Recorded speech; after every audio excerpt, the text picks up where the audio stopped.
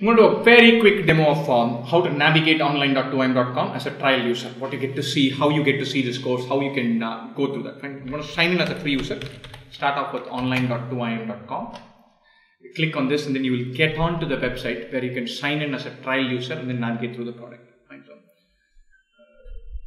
so you can sign up or log in. If you already have a trial ID, then you log in. Now I'm going to create a trial ID, so I'm signing up. This is let's say sign in with some password and then give a phone number and then I can sign up for free. So you can give an, uh, any an email address, a password and a mobile number. You need practically nothing else to sign up and try this course. It takes about half a minute or one minute for the course to load and then immediately you can jump to C classes. So the tech team has put together a very light course where you can just jump into the course. I saw the course that is there, I've jumped into it. It already says enrolled you have an option of buying the course but right now I don't want to buy the course. I want to see what I get to access, how the course is structured as if when I have signed in as a trial user. Notice the courses in this bundle, quantitative ability, data interpretation and logical reasoning, verbal ability. Here there are two free classes, two free classes and one free class. Apart from this, there are a bunch of other courses which effectively tests and mocks and all that. I'm not interested in that, that I'll come to later on. First up, I want to know what will happen if I sign into a course, what will I be able to access? What will I get to see in the freely available class? How do I get to navigate across different sections in the freely available course slash class? That's my number one priority. If I've signed up as a trial user, what do I get to see? I, once I've clicked on quantitative ability, this is what I lined out. I'm going to look at this in more detail. For DI, LR and verbal, practically the same. Right? Even this, the UI is very friendly. And so it's very user friendly. If you look at this, you've opened up to a topic, percentages, there's a bunch of lessons inside that. If I click on this, then that folds in, then I can see the entire table of contents for, for quant. You have percentages, profit and loss, simple and compound interest, averages. You go down, you get number theory 1, 2, 3, 4. In this combinatorics, geometry 1, 2, 3. Geometry 1 is free and percentages is free. This is the stack for table of content. I'm going to click on percentages and see what the free classes. What does a class look like? I'm going to click on some one topic. So this is what the class actually opens up to. There is a video which you can watch. Who starts with Notice, ideas and percentages? pause that so that we can hear this volume and not that one. Right? So if you notice a bunch of these lessons on the right hand side are clearly seen. All the lessons and percentages are seen on the right. Again, a table of contents within the topic. And then you open up with a video for some simple theory. All our videos are about 4 to 9 minutes long, not too many, too long videos. Any lesson will have video and or slides. So if you click here, you can see whatever is there in the video in slides. Now, some of the lessons do not have video because they're very simple ideas. Whatever has a video, there will always, always be follow-up slides for that. So if you're in a hurry, you want to skip through, you can just see the slides. If you understand it very clearly, then you can skip the video part. And that's how we've built the course. Now you've seen this, you want to go to the next one, you can jump out. You want to go to the next one, you can jump out. For the simpler ones, there'll be no video. For even the slightly trickier one, there'll be a video also. Now, a bunch of lessons here. There's something else we've added here, which is what we call as a checkpoint quiz. There's a checkpoint quiz 1 and a checkpoint quiz 2 for practically every topic. A simple quiz. It opens up into a quiz interface and then you answer questions.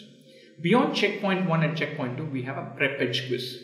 Now, what's the difference between checkpoint quiz and prep edge quiz? Checkpoint quiz is merely for consolidation. It's to say, look, I've learned these three bits. I want to practice five, six questions on this to know whether I understand these three bits very clearly. Prep edge quiz is for benchmarking. Now, I've covered this topic. Am I good enough to handle questions of the level seen in CAT in this topic? So the prep edge questions are that little bit tougher. The interface, the UI is exactly the same. The prep edge quiz, the, the level is tougher and it is benchmarked to what you see. I've clicked on prep edge quiz. I want to see how the quiz interface looks like. This is how it looks like. Very simple. Click, save and next. I'm going to click this, save and next. There are about seven questions in any prep edge thing. I'm not even going to answer all seven. I'm going to submit this. Now I want to see how the test interface looks after you have submitted. Get to this screen. You see a bunch of good performance in this and then you see what your score is, what your number is. Check answers. I want to see how the solutions look like. Very, very user-friendly UI. You click on this, it opens up to a slideshow. Very similar to our original thing, but this is a model, jumps out. And then you can see the solutions. Again, for the tougher questions here, there'll be videos embedded inside this. So if I go to a slightly trickier question, there'll probably be a video embedded inside the slide. So it will be a slideshow or a slideshow with video. Both are feasible within the, within the test interface. I'm going to exit this. So we've seen how the courses are lined up. We've seen within a class how the lessons are stacked up. We've seen how the table of content appears. We've seen how the quizzes are lined up. We've seen the distinction between checkpoint quiz and prep edge quiz. Uh, from the prep edge quiz, I've exited. And then now I'm looking to go back to the original course, the course structure. Uh, this is the course structure. Now, within this, if you notice, there is something called a syllabus, something called as discussions, and something called as notes. So the discussions is anyone who has posted a question, you can see it on the discussion forum. So anytime you have a doubt, all you need to do is hit discussions. Anytime you want to write a note to yourself, you can click on notes and write that. So notes are private, discussions are public. So the entire discussion forum is available here. So how do I post a question on discussion? Very simple. You're here, you've clicked on this. This tab here lets you post a question on discussion. You see everything else that has been posted there, everything else that has been uh, answered as well. You can view the replies, you can see what we've answered. Now remember, this entire forum is moderated. All, all the questions and replies that you see here would have been uh, answered by us. If it has been answered by somebody else, that means we have verified it. So if you're, if you're letting a, a reply say here, that means one way or the other we are saying, look, we know this is right, don't worry about it. So this is moderated. So you won't have to worry about funny wrong answers sitting there. So the discussion forum is a very useful platform to answer those questions. Hmm? I'm going to go back to the original screen where we landed. If you notice here it says, please confirm your email address. So the moment you sign up as a trial user, you've got an email saying, look, you've signed up as a trial user, kindly click here to confirm. You need to click on that and confirm that email address to have to enjoy continued access. Original access is automatically available. So you click in as a trial user, you can see this course for an hour, two hours, see everything that is freely available without even confirming your email address. But if you log out and then come back the next day, then you should have confirmed your email address to enjoy continued access. You're given about five to six classes free, uh, two or three entire courses free, a bunch of tests free, and a mock free.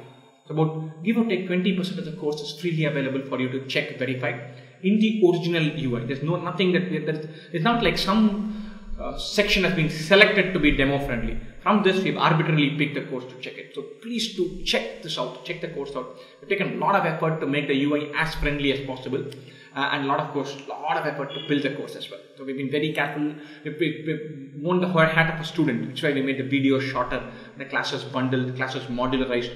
All of that we're worried about. Any feedback you have, you know how to reach us. Drop us an email as well. But do check out the course. And best wishes for your academy.